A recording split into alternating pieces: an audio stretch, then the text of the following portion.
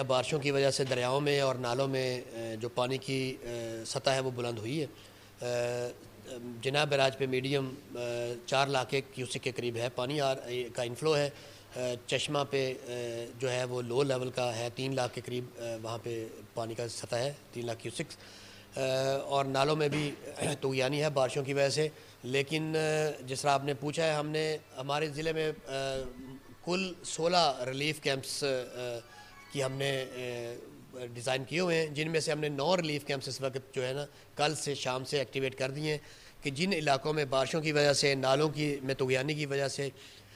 या दरिया के कटाव की वजह से आबादी मुतासर हुई है और लोग डिसप्लेस हुए हैं। अगर तो वो उसमें, हम रिलीफ कैंप्स में लोगों को, आबादी को, मुतासर लोगों को और उनके जानवरों को शिफ्ट कर, करके वहाँ पे हम स्टे करा सकते हैं। वहाँ पे हमारे पास महकमा माल का अमला जैसे वो सारे इंतज़ाम मुकम्मल करते हैं और rescue one one two two का कि अगर कोई किसी की प्रॉपर्टी या कोई लोग अगर फंसे हैं पानी में उनके रेस्क्यू और रिलीफ के लिए और महकमा हेल्थ का अमला है। लोगों की दवा दारू के लिए, उनको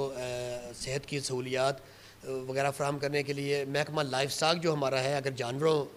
का कोई मामला है, जानवरों को वहाँ पे रखने का भी बंदोबस्त है, उनकी वैक्सीनेशन और दवाई वगैरह का भी है सारा बंदोबस्त। इसी तरह बाकी जो हमारे महकमे मुतल लाइट है, वो भी सारे दस्त वहाँ पर उनकी सर्विसज़ सहूलतें सारी दस्तियाब हैं। इन नौ